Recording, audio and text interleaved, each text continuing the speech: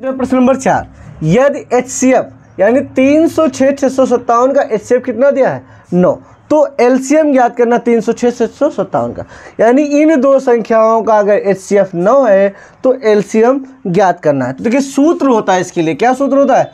दो संख्याओं का गुणनफल बराबर एच सी एफ़ तथा एल सी एलसीएम तो चाहे एच सी एफ़ ठीक? और एलसीएम पहले लिख ले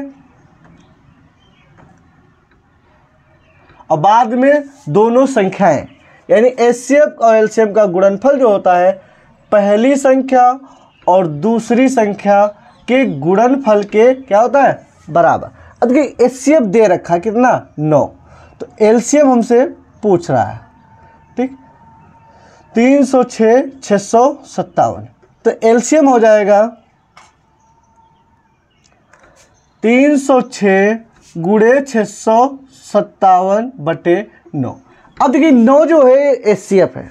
यानी इन दोनों संख्याओं का एस सी एफ़ है तो नौ से दोनों संख्याएँ कट रही चाहे जिसको भी आप काट दीजिए। देखिए, इसको अगर काट रहे हैं, नौ सत्ती तिरसठ बचा दो, नौ त्रुक सत्ताईस।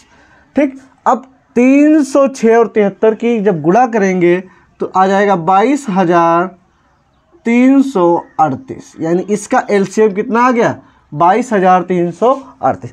सेम टू सेम सवाल छः नंबर है।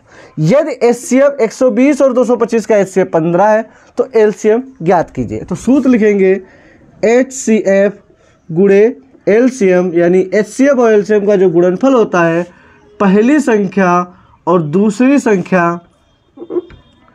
के गुणनफल के क्या होता है? बराबर होता है।